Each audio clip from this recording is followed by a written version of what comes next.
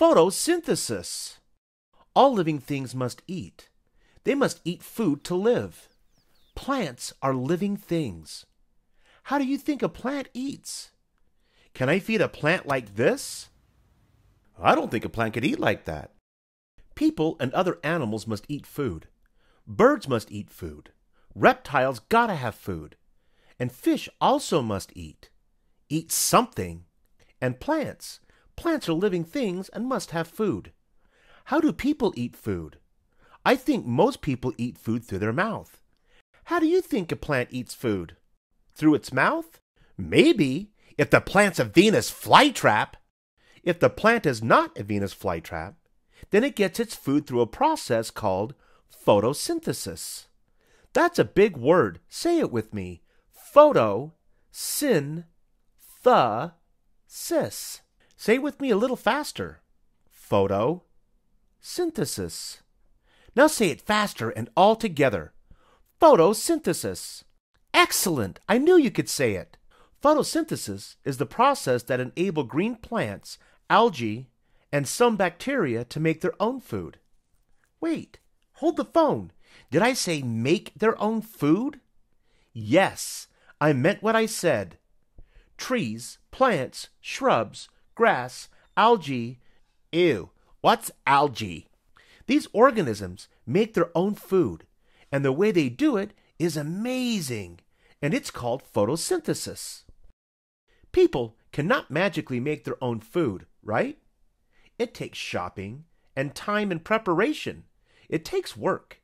I'm hungry just thinking about it. But watch how plants do it. The word photosynthesis comes from two words photo, which means light, and synthesis, which means to make. Plants use light to manufacture their food, which gives the plant energy. What's the best source of light? Yup, you're right. It's the sun. Let's explore the process of photosynthesis. Photosynthesis occurs in the leaves of trees and plants, in microscopic structures of the leaves called chloroplasts, which contain chemical molecules of chlorophyll. Chlorophyll is the element that gives leaves its green color. Three elements are required for a plant to perform photosynthesis. Number one, carbon dioxide is required. Carbon dioxide is a gas in the air. All animals expel carbon dioxide when they breathe out. Plants like that. Plants need carbon dioxide. Carbon dioxide is absorbed into the leaves of the plant. Number two, plants need water. All living things need water. You need water just like plants. The water in the soil is absorbed into the roots of the plant and travels up into the leaves of the plant. What do you think number three is? What is the third thing that plants need? Hmm. We mentioned it before. Remember what photo means in photosynthesis? If you said light, you would be right. Light energy is absorbed into the leaves of the plant. And what is the best source of light? You got it, the sun. Some plants can be grown indoors. They still need light energy. It takes a special lamp to produce the right kind of light that plants need to perform photosynthesis. Now that you know the three things necessary, let's see how they all work together. Water, in the form of moisture, reaches the leaves of trees and plants through the root system. Carbon dioxide is also being absorbed into the leaves and into the chloroplasts. Light energy falls upon the leaves and is absorbed by the chlorophyll. And when all the ingredients come together, bam! The chemical reaction known as photosynthesis has just occurred, and the plant has made its own food. Food in the form of glucose, which is a type of sugar.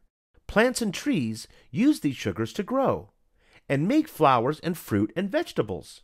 The things we need to live. Another byproduct of photosynthesis is oxygen. Plants give off oxygen during photosynthesis, and we need to breathe oxygen.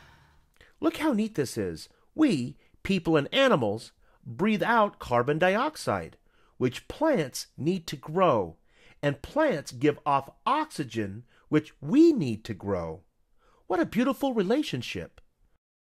All living things on Earth rely on plants and trees and grasses of all kinds all over the world.